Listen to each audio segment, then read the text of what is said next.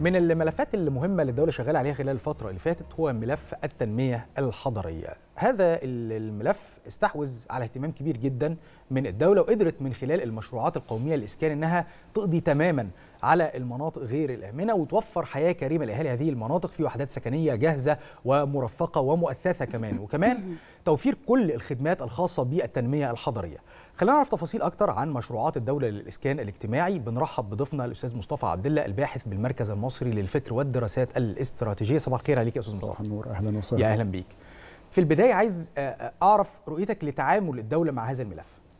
آه خلينا في البداية نقول آه تعامل الدولة مع هذا الملف هو تعامل ب... ب... جاي من منطلق الدستور المصري الدستور المصري في المادة 78 أقر وأنص على أن المسكن الكريم الملائم هو حق من حقوق الإنسان المصري مم.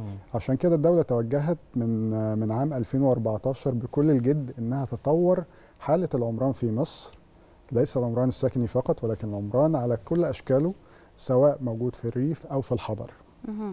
الدولة طبعا في هذا الإطار انطلقت في عدد من المحاور منها المدن الجديدة مشروع تطوير نقدر نقول عواصم المدن وعواصم المحافظات والمدن م. الكبرى بخلاف كده تطوير العشوائيات الخطرة وده اللي نقدر بنعتبره يعني من من أهم النجاحات اللي مصر القضاء عليها القضاء عليها مش فعلا م. القضاء عليها بشكل تام وإحنا الحمد لله إن إحنا احتفلنا في أكتوبر الماضي بالنجاح الكبير صحيح. ده طيب وإحنا بنتكلم عن هذا هذا المجهود وكل الخطوات دي أكيد كان في البداية عشان ننفذ هذه الخطة كان لازم يكون في آليات للتنفيذ. خاصة إنه كان في تحديات كتير جدا. عايز أعرف من حضرتك من وجهة نظرك طبعا أهم هذه التحديات وكانت إيه آليات الدولة في تنفيذ هذه الخطة؟ آه خلينا نفتكر مع بعض إن إحنا من عشرات السنين عقود متلاحقة على تاريخ مصر العشوائية العمرانية تعظمت على الدولة. صحيح. الجايز ده لأسباب مختلفة مش مش هيكون يعني لو قعدنا وقت طويل قوي هنفندها. آه لكن الدولة من 2014 حاولت إنها توجد حلول جذرية لهذا الأمر. إحنا عندنا العشوائية العمرانية بس تكونت في المدن القديمة القائمة سواء في الوادي أو في الدلتا بسبب عدم وجود توسعات خارجية صحيح. خارج النطاق خارج م. النطاق الضيق ده اللي إحنا بنسميه 7% اللي إحنا عايشين عليها في مصر عشان كده الدولة توجهت بصراحة إنها تدعم المدن الجديدة أو اللي كانت موجودة من قبل 2014 كانت حوالي 20 مدينة لكنها قامت بإنها تطور أو تنشئ 30 مدينة جديدة. بالإضافة إلى كده في تسع مدن كمان بتضاف في الفترة الحالية. بقى عندنا من من المدن دي في مدن من الجيل الرابع الذكي 14 مدينة منهم العاصمة الإدارية منهم المنصورة الجديدة منهم العالمين منهم تشكي الجديدة غرب قنا ومدن أخرى. صحيح. والمدن اللي جاية في الطريق هي برضو جاية عشان تواكب التوسعات السكانية أو الزيادة السكانية المضطردة اللي إحنا بنعانيها في مصر واللي هي بتقدر بحوالي 2 مليون مواطن سنويا. صحيح. بخلاف كده إحنا ما ننساش إن إحنا عندنا حوالي 21 مليون مواطن هم في الفئة العمرية ما بين 18 ل 29 طبعا الفئة دي هي الفئة اللي بيكون فيها معدل الزواج. فبالتالي الاحتياج لشقة أو مسكن أو بيت جديد. عشان كده الدولة توجهت بشكل سليم. إحنا دولة شابة زي ما سيادة الرئيس دايما أشار أو أشار في أكثر من موضع. الدولة الشابة دي لازم تلبي احتياجات الشباب طبعا. منها المسكن وأظن المسكن ده في مقدمة الأولويات. وفي بعد كمان يا أستاذ مصطفى مهم جدا لهذا الموضوع زي ما أنت قلت في الدلتا والمساحات اللي ضيقة وما فيش ظهير صحراوي. الدولة اتجهت إلى عمل مدن جديدة بالفعل عشان تحافظ على الرقعه الزراعية لأن الناس كانت بتتجاوز وكانت عارفين طبعا بيبنوا على الأراضي الزراعية وكده. فده بعد برضه مهم لأننا بنحافظ على الأمن الغذائي. صحيح صحيح. إحنا طبعا لو بنتكلم في بعد الأمن الغذائي فاحنا مش كمان بنحاول نحافظ على الأراضي الزراعية. يعني طبعا إحنا عندنا دلوقتي بن مجلس مجلس النواب الحمد لله في خلال الأيام الماضية أقر تعديل جديد لقانون التصالح على مخالفات البناء. وده الهدف منه إن إحنا بقى فعليا عندنا أمر قائم وهو العديد من المباني جايز آلافات كتيرة جدا موجودة كانت مبنية بشكل عشوائي. طب إحنا عايزين خلاص إحنا نثبت الوضع هنوقف الأمر كما هو عليه حاليا.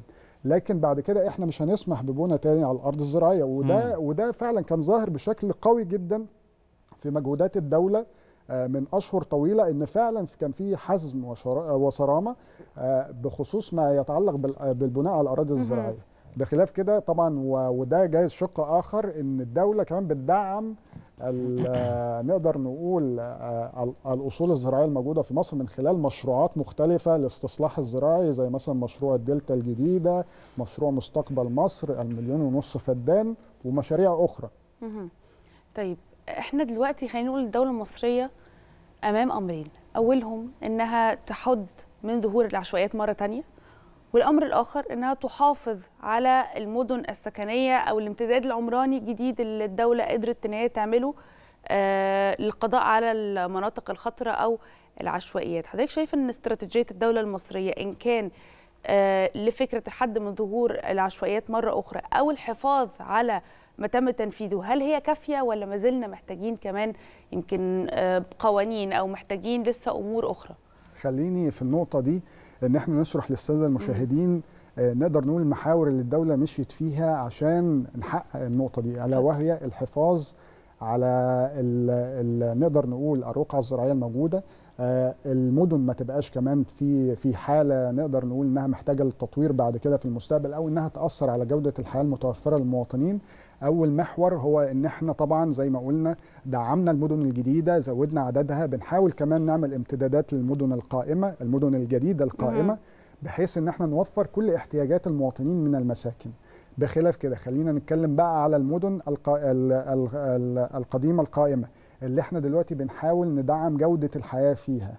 من خلال إن إحنا بنعمل تداخلات التداخلات دي سواء إن إحنا بنطرح آه، وحدات سكنية في في المساحات المتاحة جوه المدينة. وده لتلبية الطلب لأهالي المدينة نفسها.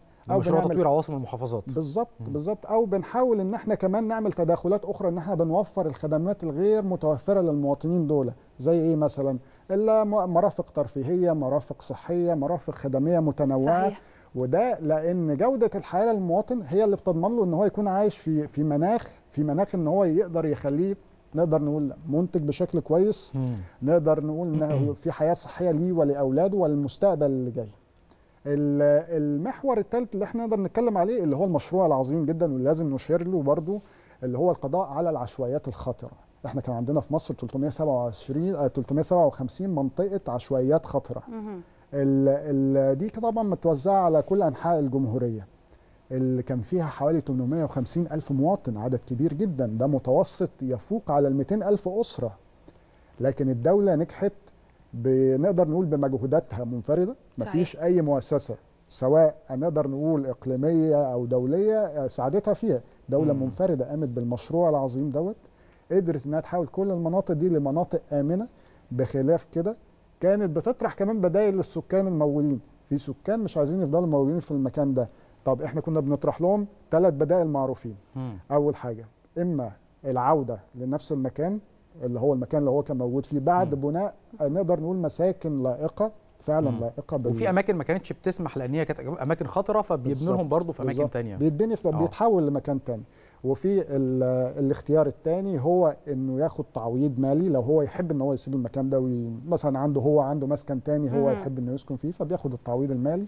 أو التعويض الثالث إن هو بياخد بديل السكن بتاعه في إحدى المدن الجديدة في مشروعات الإسكان الاجتماعي. و... وده هنتناوله طبعا مشروع الإسكان الاجتماعي المشروع العظيم جدا. الحاز يعني نقدر نقول على اشادات محلية ودولية آه، يجب الانتباه إليها لأن التجربة المصرية دي تجربة فريدة جدا.